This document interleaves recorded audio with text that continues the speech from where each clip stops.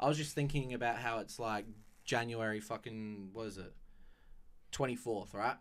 And I'm like, oh shit, like I'm a, I'm already a bit late on my New Year's resolutions. Like fuck, Yeah, About- almost. about twenty four days in, yeah. and I had about like, you know, like like 10 ones that I would never reach ever, ever, ever. Okay. Like they roll into every year. Like hopefully this year's the year I do them.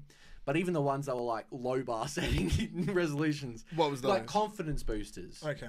It's like uh, make sure you like you know trim your toenails before the before the 14th or whatever. It's like damn, you Uh, see, uh, you see them on the 18th and you're like ah, gotta scratch yeah. off the list. yeah. Okay. So Like and obviously that's that wasn't one. Mm. I'm pretty hygienic.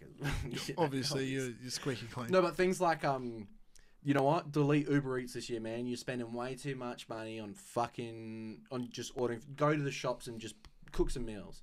It was like January first, second, and and I justified it to myself. It was like, well, obviously I'm gonna not cook food on January first. I'm hungover as shit. Mm. Then January second was like, well, I didn't get to go to the shops yesterday, so let's order food again. Yeah. And then it's like, well, now I'm broke, so like next payday. and it just, it just fucking is yeah, you pushed the goalpost back. So I was just wondering if you've got fucking any news. I haven't spoke to you about your New Year's resolutions. What are yours? Well, one of mine is to get on stage as well. Like that's the part of the reason that I'm going to the Rhino Room and and stuff like that is I wanted to put myself in a very uncomfortable position and scratch my itch for trying stand up comedy. Yeah.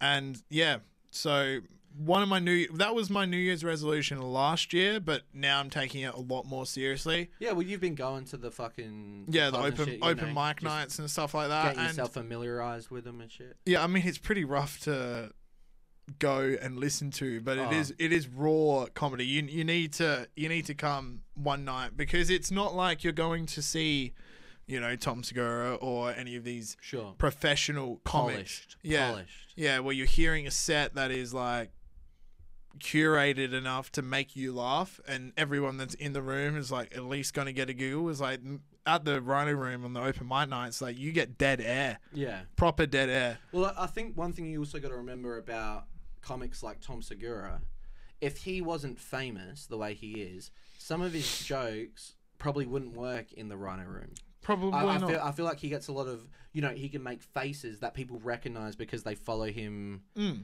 in the podcast and, stuff like and that. that generates a laugh. Yeah. that, that that's just for the followers. That's not for people just sitting in the room. Yeah, no, no, that's they, they pan, like when you're that famous. I think you pander to the audience a bit, or you get the audiences. The audience is already doing like twenty percent of the work for you because they love you and they want to laugh at you. I agree. I and that's a one of the things I was looking at last night was some of the jokes that I expected to not work worked, and some of the jokes that I expected to work and I enjoyed them and laughed. Other people weren't laughing. do you remember any sort of specific examples, even if it's not the joke word for word, but just the topics they were speaking on? Oh no, I watched like fifteen comics, man. Oh, okay, yeah. So like it is, was is it just like five minutes? yeah, it's five minutes, and well, what's kind of good and bad is that the room contains 50 people total, but probably 15, 20 of them are comedians. that people who want to go on. yeah, stage. they are people that are just sitting there and just waiting for a time, their time to go on stage. Sure. Uh, uh, on stage, but like the MC, like well, the the, the host of the show, he he was funny.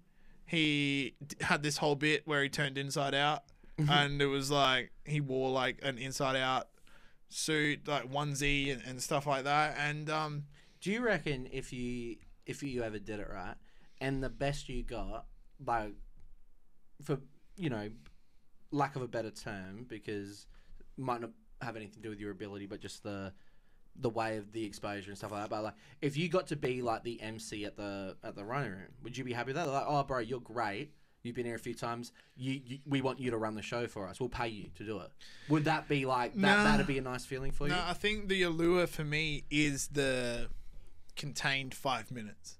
Is the twenty minute set? Is the me? You know, it's like it, it's not. Well, you are a journalist, so you are a writer. Yeah, You're well, it, it's not like I don't want to host the show because like I don't want to be the gel that holds the show together. I want to be the show. You don't think you'd enjoy that, like the running? I'm sure I would. Like, oh my god, you've been killing it here. Do you reckon?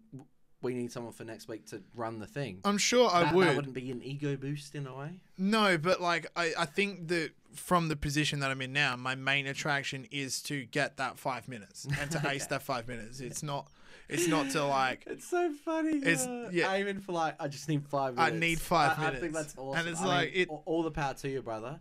mm, That five minutes, like when you're just sitting there and counting, five minutes is Yeah. a long fucking it's time. a long Yeah. fucking time. It's more than sixty seconds. that's It's for way sure. more than if it, even sixty And seconds have is you, hard. have you ever sat there in silence for 60 seconds? It's a fucking long yeah, minute. yeah, every fucking And day. can you uh, like, imagine how much silence on your first set? yeah, the eleventh of the eleventh, I'm sitting there for a minute. I'm like, how long is this going for?